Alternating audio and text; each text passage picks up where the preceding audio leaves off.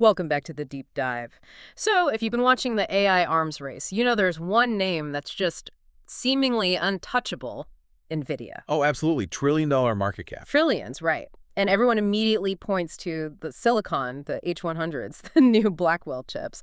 But today we're going to talk about something uh, much more strategic than the metal. We're talking about the software lock-in, the thing that actually makes all that hardware indispensable. Exactly. The foundation of NVIDIA's dominance isn't really the chip, it's the software moat they built around it. We're talking about CUDA. Compute Unified Device Architecture. It started way, way back in 2006.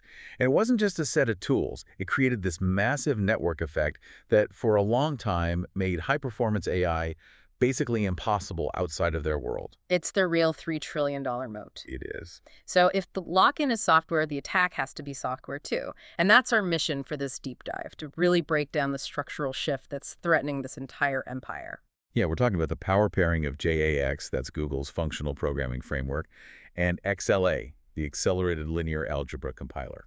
And the core idea here, the thesis, is this profound flip in architecture. CUDA depends on human experts, you know, specialists, hand-tuning code for every last drop of performance on an NVIDIA chip. Right, but JAX and XLA, they take that entire optimization job away from the human and give it to the machine, to the Uh, compiler. And if the compiler can optimize that code for any hardware, Then the hardware layer suddenly becomes a commodity. And that is the mechanism that lets the big hyperscalers finally start to bypass what you could call the NVIDIA tax. Let's get into it. Okay, let's start by defining what the CUDA moat actually looks like. It's not just one wall, is it? Our sources describe it as more of a defensive structure with three distinct layers. Yeah, that's a great way to put it. The foundation layer one is the kernel library. Right. These are literally thousands of pre-written, hand-optimized subroutines. Mhm. You know, things like cuBLAS for matrix math, cuDNN for neural networks. They are tuned to exploit every single microscopic detail of NVIDIA's silicon. And a perfect example of this in action is something like Flash Attention 3. Flash attention is the perfect example of the kernel trap.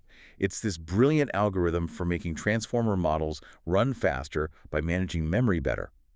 But the newest versions, they are specifically designed to use highly specialized instructions. Instructions that only exist on NVIDIA's latest Hopper chips. Exactly. Things like WGMMA, TMA, FP8. So if you're a competitor, say AMD or AWS with their Trainium chip, you can't just run it. You have to spend months, literally months, mm-hmm. Reverse engineering it and building your own version from the ground up. So it's a guaranteed performance lead for NVIDIA, not because of the silicon, but because of the software. It's a lock-in. It Yeah. forces everyone else into a constant game of catch-up. Okay, so that's layer one. Layer two is the tooling ecosystem. Hmm, the tooling. This is about visibility. If your big training run is slow, NVIDIA gives you tools like Nsight Systems. It lets you see, cycle by cycle, exactly what the chip is doing. And that kind of debugging, I mean, that's critical. And it's something competitors like AMD's ROCm have really struggled to replicate. It's a massive point of friction. If you're a developer and your code fails on a competitor's chip, you're basically working blind. Which brings us to the third layer, and maybe the most powerful one, the talent pool. The human element. We have an entire generation of ML engineers who are trained to think in CUDA terms. Their first instinct for a new idea is, okay, I need to write a custom CUDA kernel to make this fast. That mental model just perpetuates the whole dependency. Yeah. This total reliance on manual kernel-centric work, that's also its biggest vulnerability. It is. The memory wall. Can you break that down with an analogy for us? Sure. Think of it like a restaurant. The framework, like PyTorch, is the customer. In the CUDA world, the customer orders each part of the meal one by one.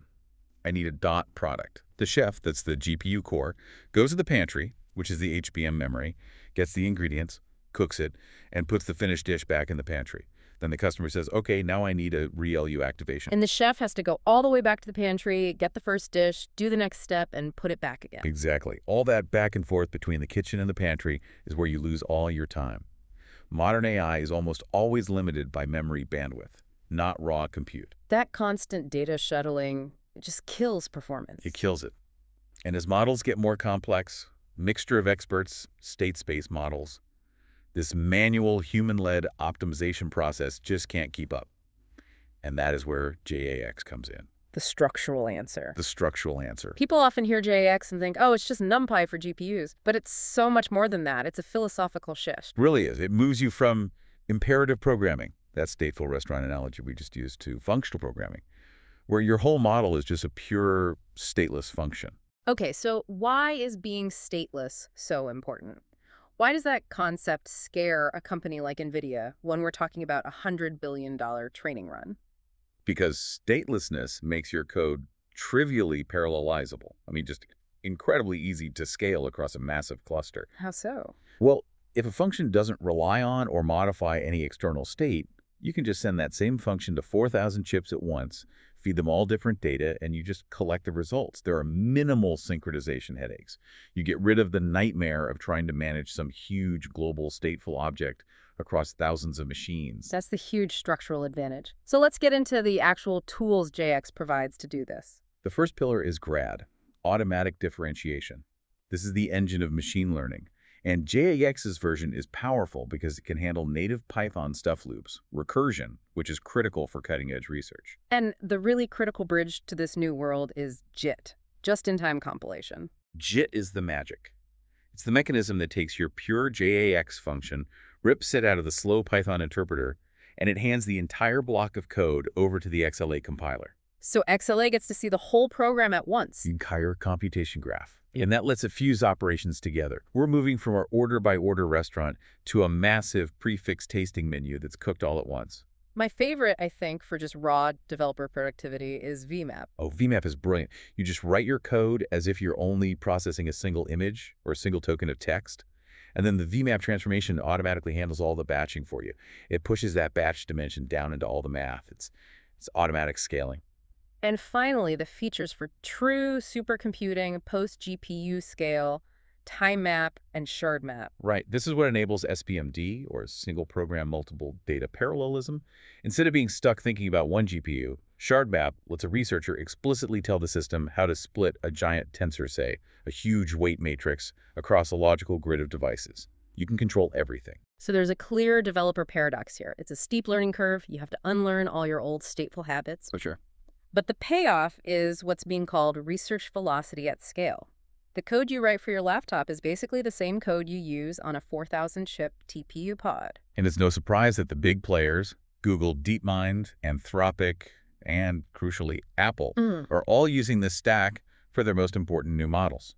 So if JAX is providing these perfectly clean, stateless instructions, XLA is the engine room that turns them into optimized machine code, finally breaking that CUDA dependency. That's right. And XLA's superpower is whole program optimization, What does that mean in practice? where an old imperative model sees 10 separate operations, XLA sees one single unified graph. And its main job is something called kernel fusion. Okay.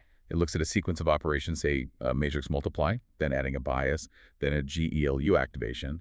And instead of running three separate CUDA kernels, it generates one single custom kernel for that whole sequence. Wait, hold on. A single custom kernel. Does that really make up for the efficiency of a raw, hand-tuned CUDA kernel written by a specialist? It absolutely can. Think about the memory wall again. XLA makes sure that the system reads the data from the big, slow HBM memory once, does all 10 operations inside the lightning-fast on-chip registers, and then writes the final result back just once. You're cutting down latency. dramatically. You boost your arithmetic intensity, and on top of that, XLA has intelligent buffer analysis that reuses memory, letting you fit bigger models onto the same hardware. But the real strategic move here isn't just the optimization, it's the portability. And that's achieved through something called Stable HLO. What is that? Stable HLO is the universal Rosetta Stone for AI. When JAX sends its graph to XLA, XLA converts it into stable HLO. It's just a defined vocabulary that describes what math needs to be done, dot product, convolution, without specifying how the hardware should actually do it. So it completely decouples the AI model from the physical hardware layer. Exactly. Once you have that stable HLO graph, the XLA backend can compile it for any target.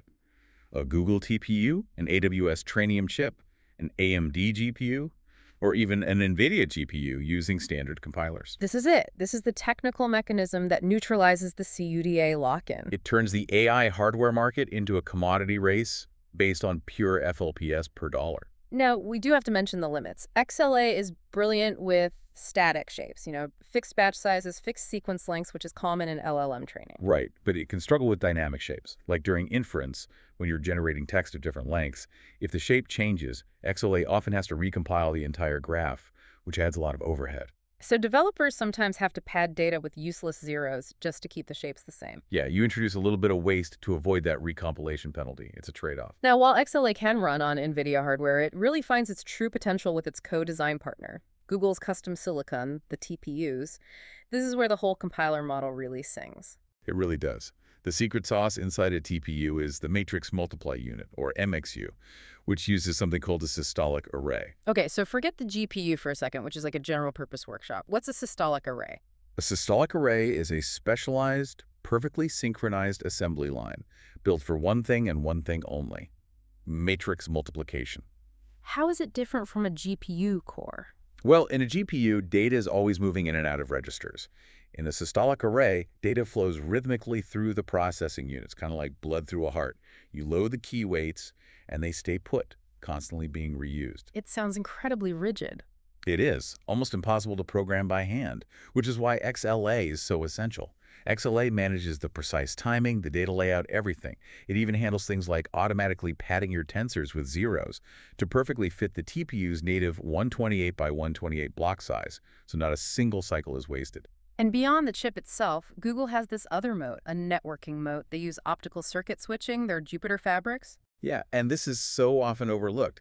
This OCS technology lets Google dynamically reconfigure the entire supercomputer topology on the fly.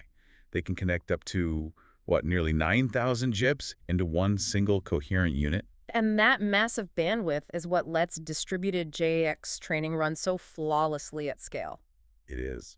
Okay, so let's get to the bottom line for the people actually cutting the billion dollar checks. The TCO, the total cost of ownership, the Google discount. This is the whole point, right? An NVIDIA H100 can cost you upwards of $25,000 because of margins and scarcity. But Google's internal cost for their TPUs is estimated to be four to six times lower than the market rate for equivalent NVIDIA compute. Because they capture that margin themselves. Exactly. And even external customers see this. They often report two to four times better performance per dollar running JAX on TPUs. Just look at a model like Llama 3. The hardware cost for training that on H100s was estimated at around $720 million. Imagine cutting that cost by a factor of two or three. That's a colossal competitive advantage for Google internally. So this hyperscaler revolt is real. It's happening. I mean, look at Apple, a company famous for vertical integration. And they chose to train their critical MM1 models using JAX on Google TPUs. That is a massive endorsement. It's them saying, we are actively bypassing the NVIDIA ecosystem for our next-gen workloads. And then you have Anthropic. They're the ultimate example of hardware agnosticism. Totally. They deploy their Claude models across AWS Trainium, Google TPUs, and NVIDIA GPUs, and they maintain what they call strict equivalence standards. That's the commodity thesis made real. It is. And this whole front is being solidified by the OpenXLA project. AWS has adopted XLA for their Neuron SDK, which powers their Trainium chips.